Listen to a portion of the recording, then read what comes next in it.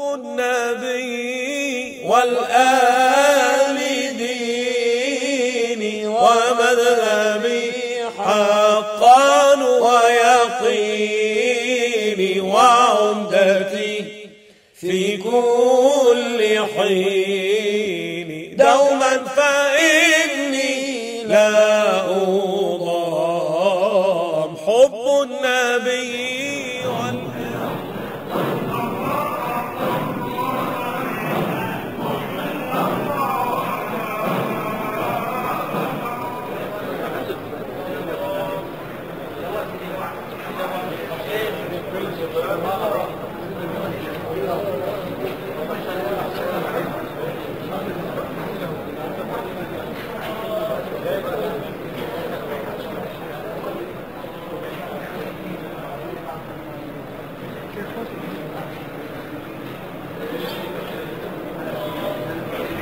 All you get is head when you get it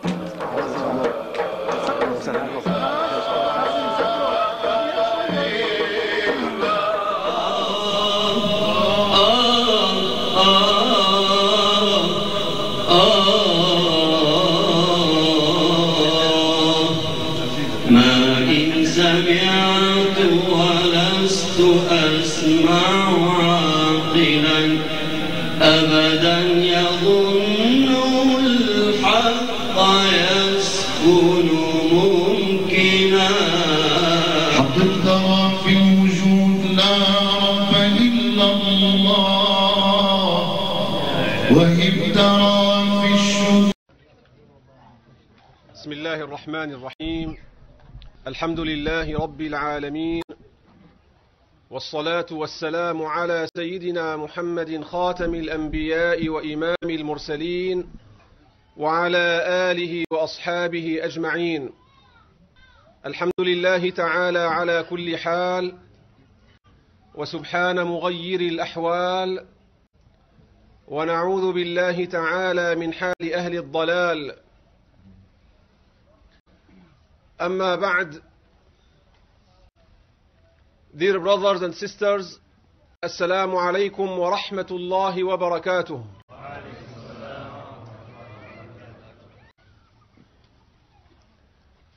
قال الله تبارك وتعالى في محكم التنزيل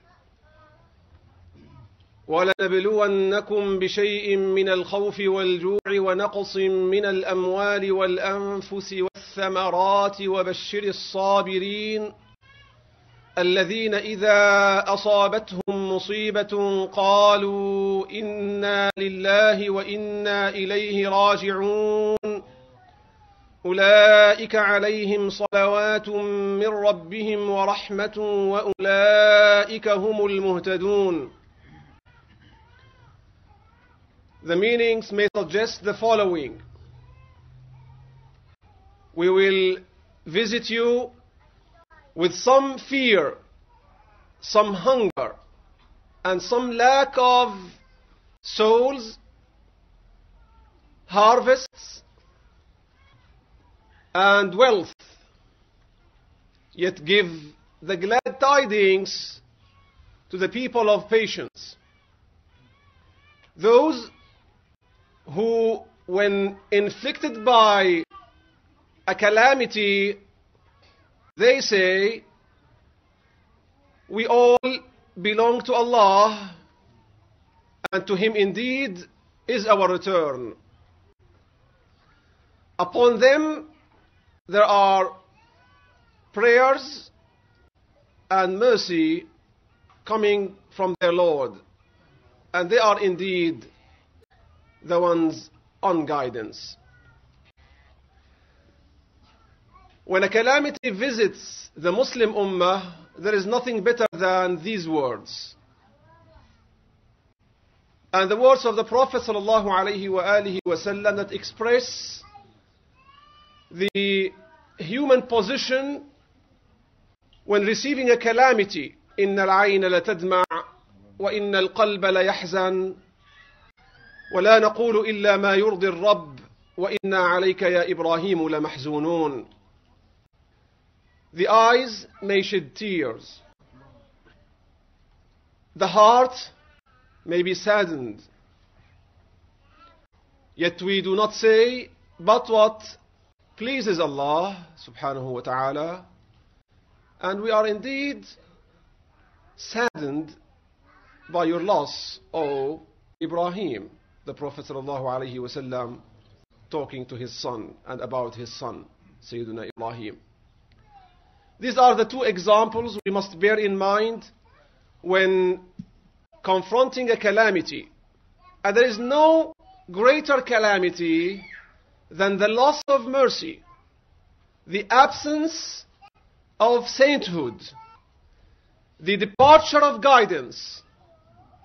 There is no greater calamity than the disappearance of prophets and messengers from the face of the earth and subsequently after their time there is no greater calamity than the disappearance of their heirs from the face of the earth the prophet sallallahu ta'ala alayhi wasallam says العلماء ورثة الأنبياء وإن الأنبياء لم يورثوا درهما ولا دينارا وإنما ورثوا العلم فمن أخذ به أخذ بحظ وافر The ulama indeed are the heirs of the prophets.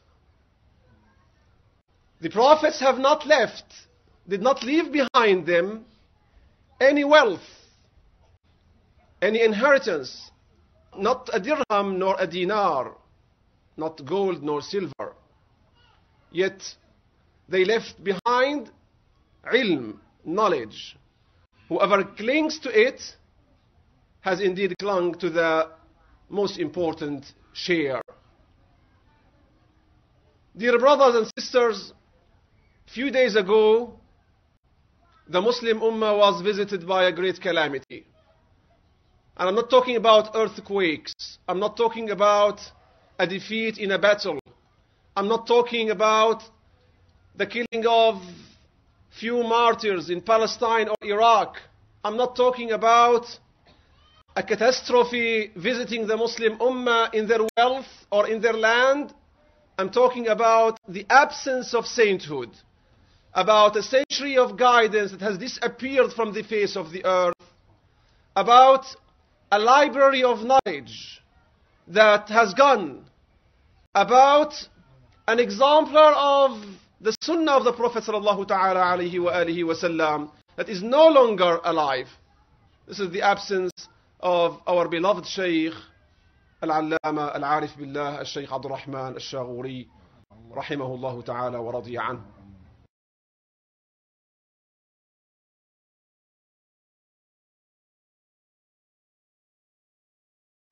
In order to understand the importance of such people and consequently the impact of their loss, one has to understand the virtue of the ulama, the virtue of ilm, and the virtue of al-awliya, and the virtue of al-amal.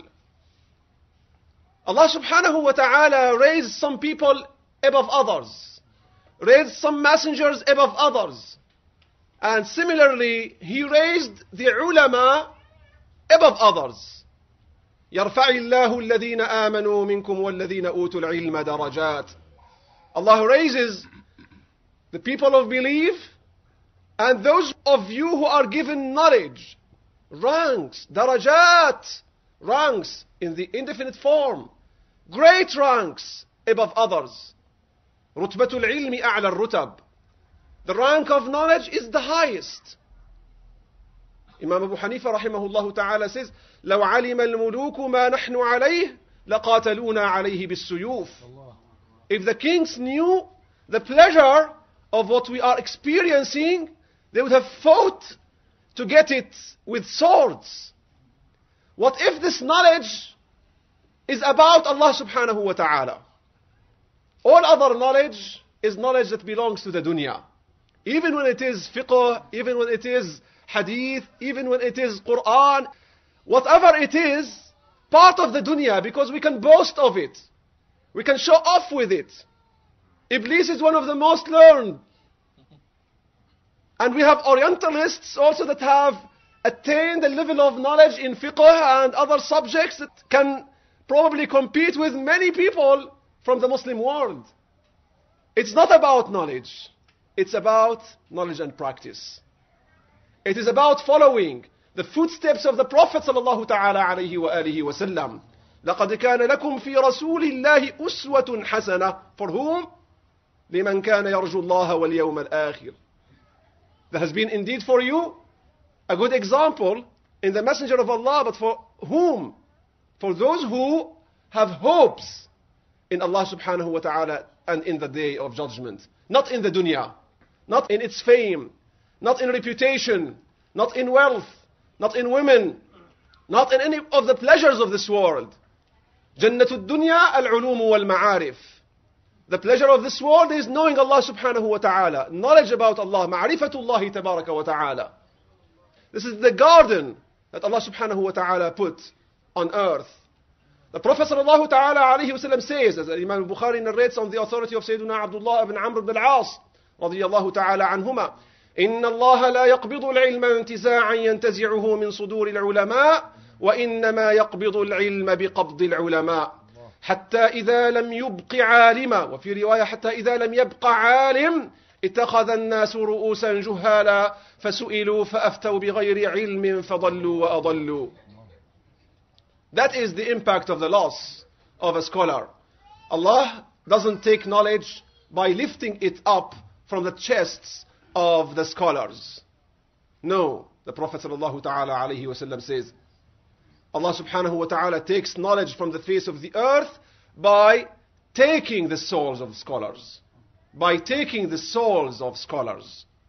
إن الله لا يقبض العلم انتزاعا ينتزعه من صدور العلماء وإنما يقبض العلم بقبض العلماء حتى إذا لم يبق عالما until when there are no more scholars اتخذ الناس رؤوسا جهالا people take leaders those who have ignorance instead of knowledge فسئلوا they are asked فأفتوا بغير علم they give fatwas without any base of knowledge فضلوا they are misguided وأضلوا and they cause misguidance such is the impact of losing a great scholar a scholar of the Sharia, a scholar of the Deen.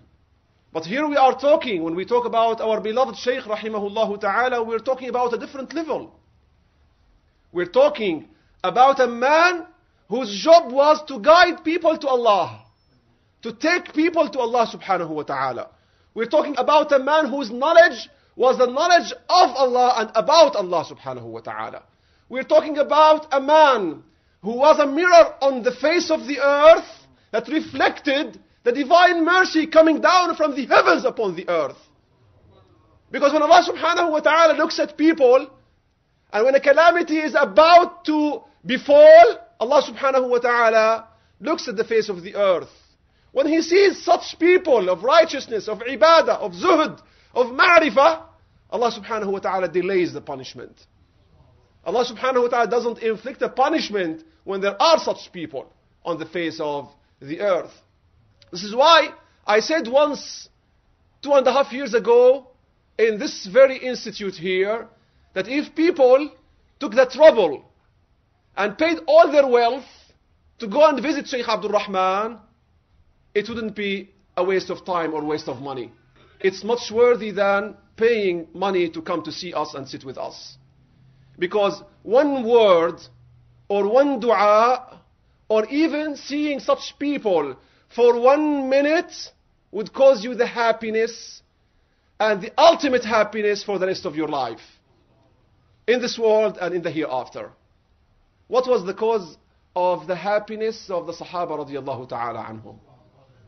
What was the cause of the happiness of the Sahaba radiallahu ta'ala? What makes the difference between the Sahabi and the Tabi'i? There were many people who lived during the lifetime of the Prophet sallallahu alaihi wasallam. They are not considered Sahaba. What makes the difference? It is meeting the Prophet sallallahu alaihi wasallam. Meeting the Prophet sallallahu alaihi wasallam. And it's not important that you see him. It's not important that you see him sallallahu alaihi wasallam. Because people like Sayyidina Abdullah ibn Umm Maktoum, he was blind. He didn't see the Prophet sallallahu alaihi wasallam. What is important is that he sees you. And you have a receptivity. أشهد أن لا إله إلا الله وأشهد أن محمد رسول الله. Because then the prophetic light penetrates your heart and changes you and makes you a sahabi. And gives you that satisfaction from Allah subhanahu wa ta'ala and the ultimate happiness. When you have this receptivity, the base of Iman, and the prophetic light reflects in the mirror of your heart, then you get the happiness. And that is the case with the awliya. That is the case with the ulama of Allah subhanahu wa ta'ala. الإمام أبو العباس المرسي رضي الله تعالى عنه says نحن قوم نربي بالنظر كالسلحفاة تربي وليدها تربي صغارها بالنظر We're people who raise our murids by looking at them. By looking at them. Like some type of animals, as sulhufah, it raises its babies by looking at them, although it leaves them to the river side, but it raises them by looking at them. This is why our great Shaykh, radiallahu ta'ala anh, was in the past five years of his life unable to convey his words to people, except in a very low voice, and people had to interpret what he was saying.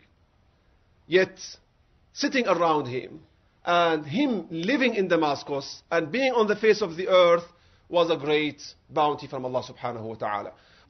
When he passed away, I said to Sidi Abdul Rahman, I said, the door of death for the rest of the scholars has opened.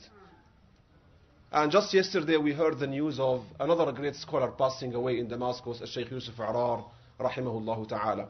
A 95 year old great Sheikh, one of the remaining students of Sayyid Muhammad bin Ja'far al-Kittani and Al-Allam al-Muhaddith al-Akbar, Sheikh Badr al-Din al-Hassani, and uh, Sheikh Amin Suwaid and other great scholars. A 95 year old great scholar passed away yesterday. When Sheikh Abdul Rahman disappeared, it wasn't good news at all. Because such people of irshad, such people of ma'rifah, are taking all the burden from the shoulders of people. They are bearing up all the calamities.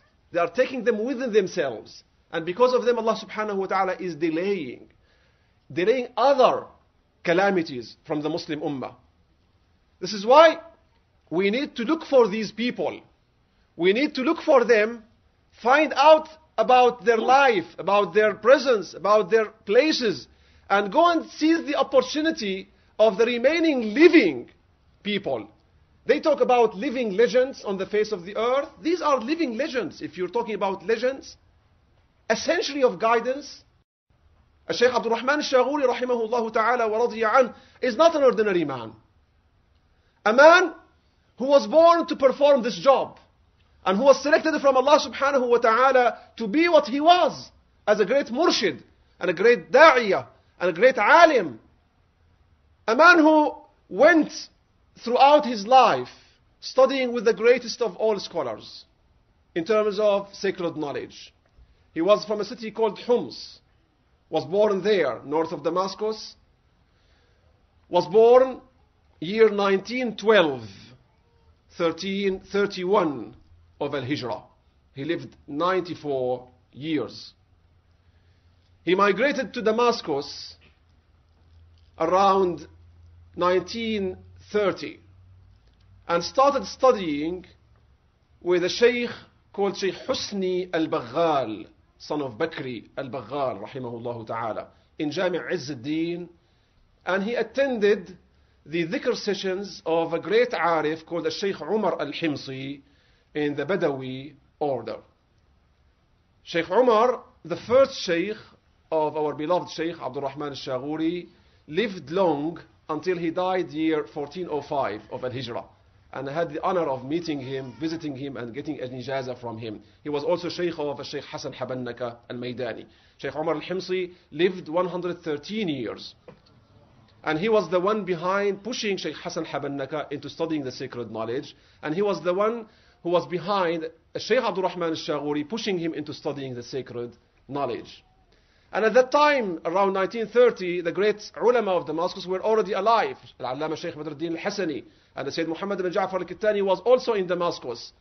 And Sheikh Amin Suwaid and the other great scholars. So he went around seeking knowledge and sitting, seeking the barakah of these great scholars until he met the great Murshid. Until he met his guide, his master, the one who revived Irshad in the Middle East, not only in Damascus or Syria. The great Murshid, the Sharif Sayyid Muhammad ibn al-Hashimi al-Tilimsani, rahimahullah ta'ala wa radiya. That was a great man and a very distinguished man from many other great scholars. We are sitting here. The Shaykh wouldn't be sitting here, Shaykh Muhammad al-Hashimi. If he has a dars to give, he would give his dars, but he wouldn't be sitting in the front of the place. He would be sitting just at the threshold, at the very beginning, beside the door. And he sees an opportunity to go outside and polish, shine the shoes of his murids. That was the Shaykh Muhammad al-Hashimi rahimahullah ta'ala wa radiya. In terms of Tawheed, he was an Imam. And the Sufis, we have to give credit to the Sufis and to the masters of Tasawwuf for their grasp of Tawheed. Because Tawheed is on various levels. There is blind following. You're a Muslim because your parents are Muslims. If they change, you would change. This is completely invalid, according to Imam Sanusi and the great Muslim theologians. This is an invalid method of belief. A better belief is you're a believer because Allah subhanahu wa ta'ala says, قُلْ هُوَ اللَّهُ أَحَدْ اللَّهُ الصَّمَدْ لَمْ يَلِدْ وَلَمْ يُولَدْ وَلَمْ يَكُنْ لَهُ كُفُوًا أَحَدْ This is a textual proof. You believe in it and this is valid. Moreover, you can be a believer because you're completely convinced and no one can change your conviction. If you are sitting in a room and the room is closed and someone coming to tell you the sun is shining outside, it is midday. if the person is trustworthy, then you believe in what he's saying. And he knows what he's telling. You don't need to look into your watch. You don't need any astronomical instrument. But you may rely on your own reckoning by looking at an astronomical instrument or looking into your watch to check out whether it is really midday or not. But if you want the strongest method of conviction, you open the door, you go outside, and you look in the sun. ما تحتاج النهار إلى دليل When does the daylight need a proof? And that is the case of the Arifin. Scholars of theology engage themselves in the search and research about the proofs of the existence of Allah subhanahu wa ta'ala, while the great awliya witnessed Him. So they said, why do we need a proof? Why there is any need for a proof? To witness Allah subhanahu wa ta'ala. Imam Fakhruddin al-Razi was once sitting in a circle and he boasted, or according to another variant, he was walking in a funeral and a lady asked, Who is this man? surrounded by his students. They said, This is a man who knows 1,000 proofs of the existence of Allah subhanahu wa ta'ala. Very simply, very simply she answered, لو لم يكن في قلبه ألف شك لما احتاج إلى ألف دليل. If he hadn't had a thousand doubts, he wouldn't have needed a thousand proofs. When you see the sun in midday by your own eyes, you don't need any proof. This is why these great scholars are different. from us and from others because they witnessed Allah subhanahu wa ta'ala. And this is the shuhud and wahdatul shuhud. They don't see anyone other than Allah subhanahu wa ta'ala in the universe. This is al-baqa' ba'd al-fana. Remaining with Allah subhanahu wa ta'ala after perishing to themselves, after perishing and dying to their desires, after perishing and dying to their whims and their temptations. So they don't see other than Allah subhanahu wa ta'ala, although they walk on the face of the earth, they eat, drink, they get married, they teach, they go around, but they are with Allah subhanahu wa ta'ala. Because they witness the truth and they don't see it disappearing from in front of them at all. The sun is shining and for them it is shining always. That is the case of the great Arifin radiallahu ta'ala anhum. And that's what made difference. And Shaykh Abdul Rahman al-Shaghuri rahimahullah ta'ala accompanied his Shaykh Sayyidi Muhammad al-Hashimi rahimahullah ta'ala wa radiya for 30 years. He was the mu'eed of his dars. He would read the text and Sidi Muhammad al-Hashimi would explain and comment. And he was the head of the group of chanters and singers also for 30 years. And is something that people probably don't know about him because he was a great master of tunes and music. Ta'ala an. And generations of chanters in the city of Damascus and Aleppo actually learned from him and studied from him the art of praising the Prophet ﷺ, the art of chanting, the art of singing. And beside that, he took and inherited from Sidi Muhammad al-Hashimi the science of Tawheed, ilm al-Tawheed al-Khalis. Sheikh Muhammad al-Hashimi radiallahu ta'ala authored many books, Miftah al-Jannah fi Aqidat Ahl sunnah for example, Al-Barq al-Lami' and many other works on Tawheed, on Aqidah. Because the Sufis combine the understanding of logic, the understanding of theology, with the witnessing of the truth, and they combine that knowledge to present Al-Aqidah Al-Islamiyah. So he radiallahu ta'ala was Imam in ilm, at-Tawheed. And he taught Tawheed throughout his life for generations of students and scholars. But apart from knowledge, what distinguished Shaykh Abdul Rahman al-Shaghuri rahimahullah ta'ala wa radiya anh was his hal. To teach by your words is something that is very easy. You can be an eloquent speaker and speak for hours. But to teach by your hal, this is something that is out of your hand.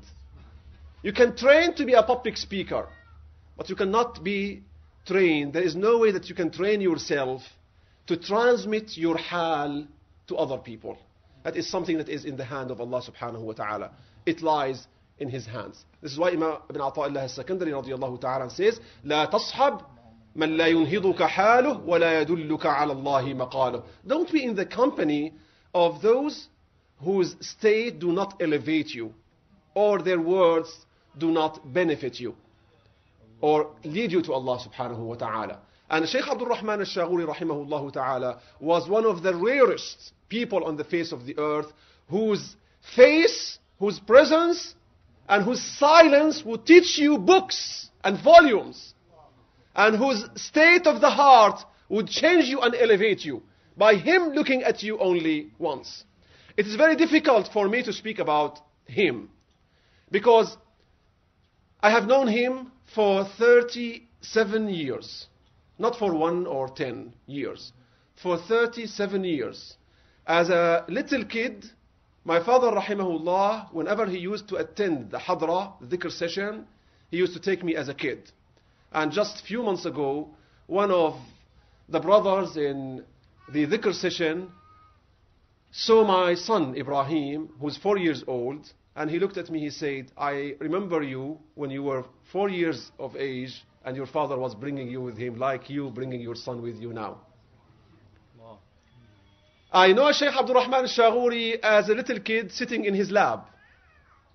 And I knew him later when I was around 10, sitting beside him in the classes of Sheikh Makki al-Kittani, rahimahullah ta'ala wa radiya. And I had the great honor of sitting with my father and Sheikh Abdul Rahman and the greatest scholars of Damascus in the dars of Sheikh Makki al-Kittani, rahimahullah ta'ala.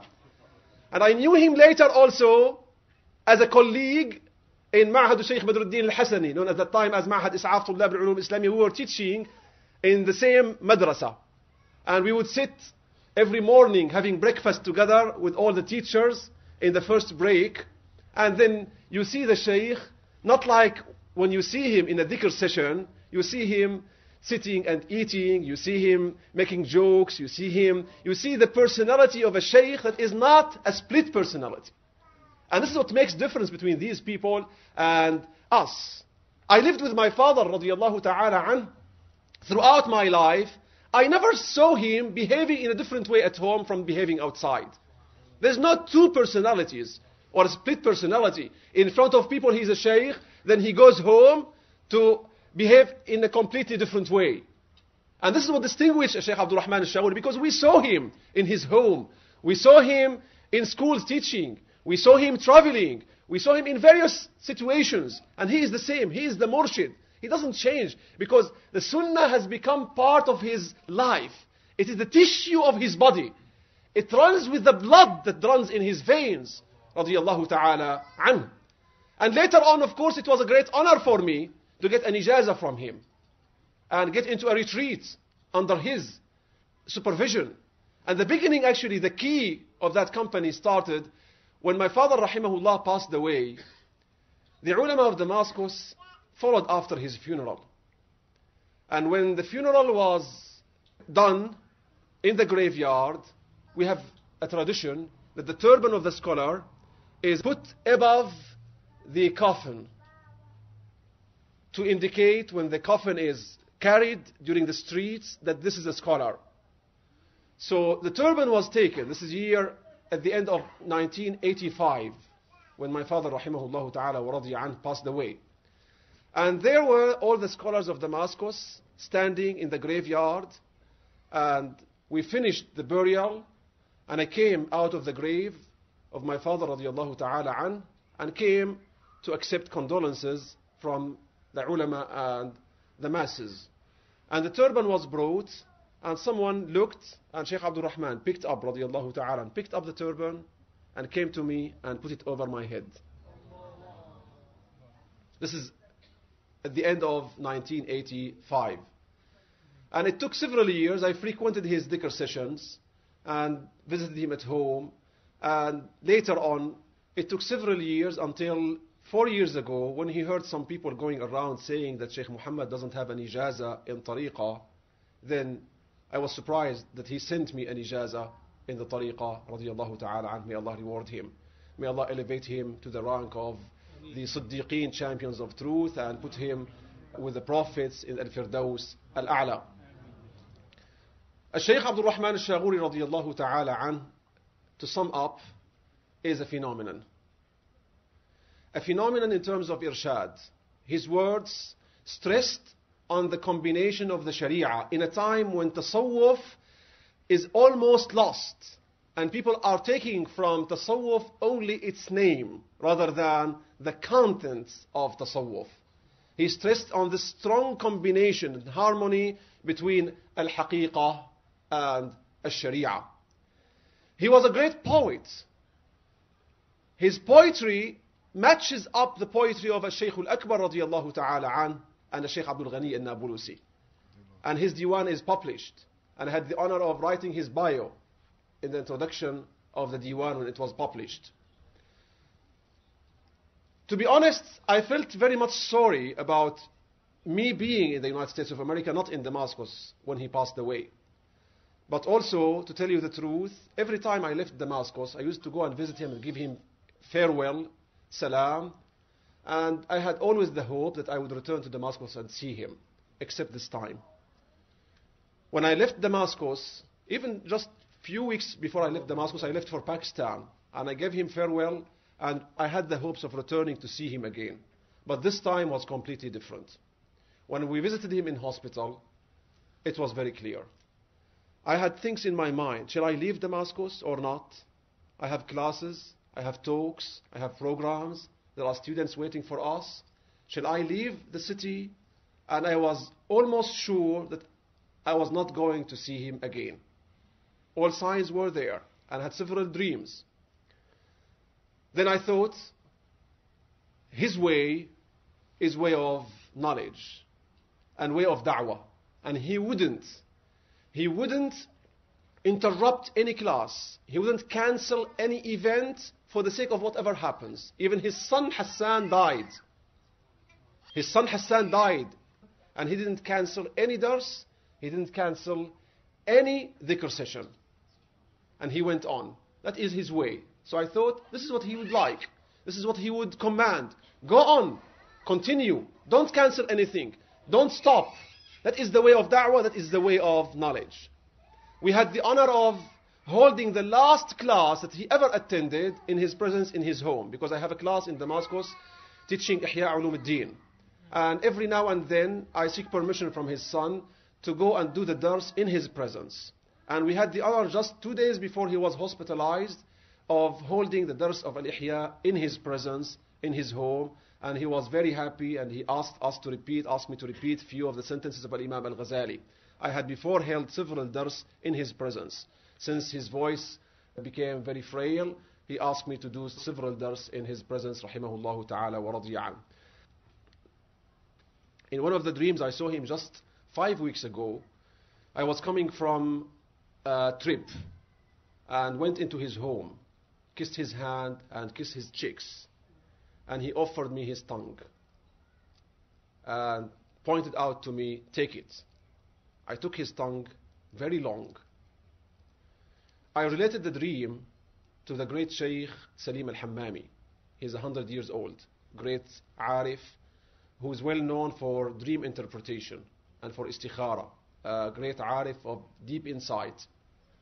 And he said to his son, Abdul Rahman, tell Shaykh Muhammad that be careful because Shaykh Abdul Rahman is not going to live long after that dream. And he said a few other things, may Allah reward him, about me from the dream.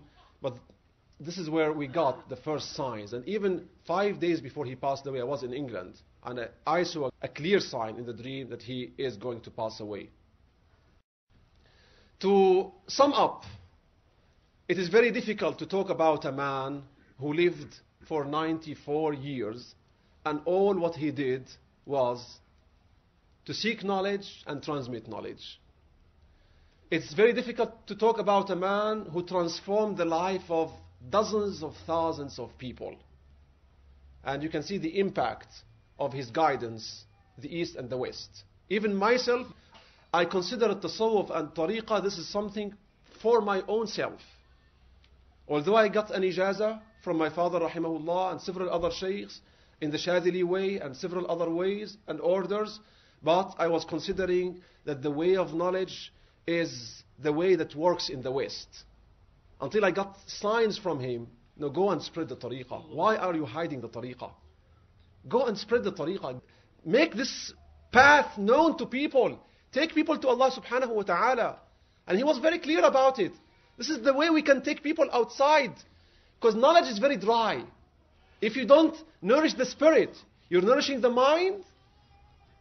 You know, the most intelligent people are scientists. And they are very smart in this country and other advanced countries. But their knowledge is producing ignorance of Allah subhanahu wa ta'ala. Is not producing ma'rifah of Allah. The minds are blocked. We have to open the hearts. When the minds are blocked, then work on the hearts of people. And that was his method. And Shaykh Abdul Rahman al-Shaghuri rahimahullah ta'ala succeeded the Shaykh Muhammad al-Hashimi in Damascus by the consensus of all scholars. Got an ijaza from Shaykh Sa'id al-Kurdi, from Shaykh Sa'id al-Hamzawi, and from Shaykh Ali al-Budaylimi in Tlemcen in Algeria, and from many other scholars to be the Shaykh of the Shadili way. And he represented the Shadili way in the best way. Because the Shadili way is different from all other ways. It is the way of Ma'rifatullah tabaraka wa ta'ala. The Naqshbandi way, for example, is known as a way of mujahada. Very much into paintaking, into self-struggle. While, for example, the Rumi way is the way of love. The Shadili way is the way of Ma'rifatullah tabaraka wa ta'ala. If you want to define it in one word, it is the way of Ma'rifatullah tabaraka wa ta'ala. And it is the way of scholars and the way of scholarship. And Shaykh Abdul Rahman al-Shaghuri radiallahu ta'ala represented this in the best way and in the best manner with this combination of al-Sharia and al-Haqiqa radiallahu ta'ala an wa nafa'ana bihi. I pray to Allah subhanahu wa ta'ala that He allow us to benefit from Him after His departure more than what we benefited from Him when He was alive. And I also pray to Allah subhanahu wa ta'ala that many of you who haven't seen him, who haven't met him, would benefit from him, inshallah. From his dua, from his company. And the awliya look after their lovers. The awliya look after their lovers. Wallahi, believe me, Shaykh Hamza, may Allah give him, inshallah, all support, all strength. Ask me once about my father, rahimahullah ta'ala. He said, Didn't your father give ijaza to the people of his time? And I was staying with Shaykh Hamza in his home. That night, I saw my father in a dream. Rahimahullah ta'ala. And I was reading an ijaza he wrote himself.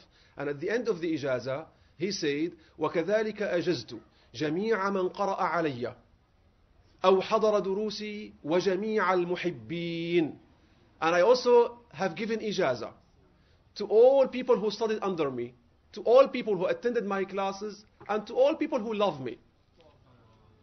I saw that in a dream while I was staying with Sheikh Hamza at the time. This is like five years ago, almost. Because he loves him, he got this share immediately and directly. So you love Sheikh Abdul Rahman, and this is what brought you here. You love the awliya, you love the ulama. So you love a scholar like a Sheikh Abdul Rahman, a arif like a Sheikh Abdul Rahman. Your share of benefit will come to you in this world and in the hereafter. In this world, by some knowledge, by some guidance, by some blessings, by some success in your life, and in the hereafter, inshallah, by the shafa'ah of these great scholars. Because ultimately, they all said to us and gave us, and this is what my father, rahimahullah, gave me, and Shaykh Abdul Rahman, rahimahullah ta'ala, gave us, also his murids, that anyone who survives on the day of judgment will take the hand of his brother. عاهدنا أن الناجي منا يأخذ بيد أخيه يوم القيامة. Imagine, out of his modesty, out of his humbleness, he was saying to us that if we survive, or you survive, any one of us who survives on the day of judgment, let's take the hand of his brother. And of course, a man like Sheikh Abdul Rahman al-Shaghuri, ولا نزكي على الله أحدا, but the signs are very clear, inshallah he's guaranteed al-Jannah.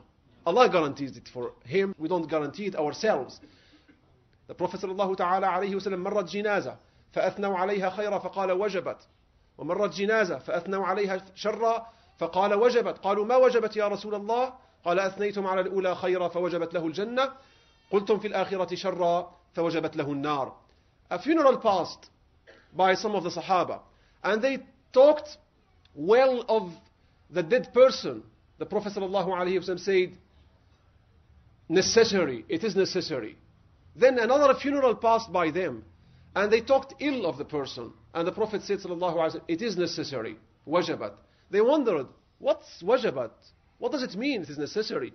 He said, you spoke well of the first funeral and Jannah has become necessary for him. And you spoke ill of the second funeral and fire became necessary for him. When Allah subhanahu wa ta'ala is happy with the person, Allah subhanahu wa ta'ala spreads the love for him amongst the earth.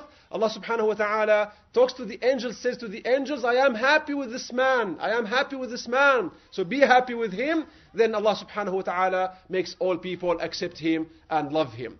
That is the way of knowledge. That is the way of ma'rifah. That is the way of wilayah. As Allah subhanahu wa ta'ala says in the Quran, وَالَّذِينَ جَاهَدُوا فِينَا لَنَهْدِيَنَّهُمْ سُبُلَنَا You want to be like them? The door is open. But ليس بينك وبين الله مسافة تقطعها وإنما المسافة هي نفسك طالت أو قصرت There is no distance between you and Allah subhanahu wa ta'ala. The distance is yourself. When you have crossed yourself, then you have reached Allah subhanahu wa ta'ala. And it starts all with one step. There is only one step. You start one step and then you go. There are people who would take you to Allah subhanahu wa ta'ala. And people who would tell you to work and there are people who would tell you to go to the dunya. سيدي عبد السلام بن مشيش رضي الله تعالى عنه يقول من دلك على الدنيا فقد غشك ومن دلك على العمل فقد أتعبك ومن دلك على الله تعالى فقد أراحك He who tells you go to the dunya is actually cheating on you is not telling you is not giving you a sheer advice ومن دلك على العمل فقد أتعبك He who tells you to exhaust yourself in staying up the whole nights and praying the whole days and fasting all times He's making you tired, and after a while you're going to stop. You cannot go on and persist in that level of work. He who tells you, go to Allah and here is the way to Allah subhanahu wa ta'ala, has given you all comfort. and that was the job of Sheikh Abdul Rahman al-Shaghuri رضي taala he showed people or in another better word he ushered people to Allah subhanahu wa ta'ala not a hundred or a thousand, but dozens of thousands of people ushered them to Allah subhanahu wa ta'ala and produced arifin and awliya. Beside ulama and chanters and singers. May Allah subhanahu wa ta'ala show him mercy. May Allah elevate him to the rank of the champions of truth. And may Allah make his grave a piece of the garden. May Allah reward him in the best rewards for all the guidance that he offered the Muslim Ummah. And may Allah show mercy to the Muslim Ummah by providing people to follow his footsteps. May Allah make the Ummah deserving of such great scholars. And may Allah not deprive us of the company of these great awliya around the Islamic world. And may Allah reward all of our shaykhs, forefathers, and great men of Allah subhanahu wa ta'ala, especially in the Shadili way and the Qadiri way and all other great aqtab and abdal and nujaba and al-arifin. May Allah subhanahu wa ta'ala be satisfied with all of them. May Allah reward them all. Reward the Prophet sallallahu ta'ala alayhi wa alihi wa sallam for all that he conveyed to us. بسر سورة. بسم الله. الصلاة على النبي والسلام على الرسول الشفيع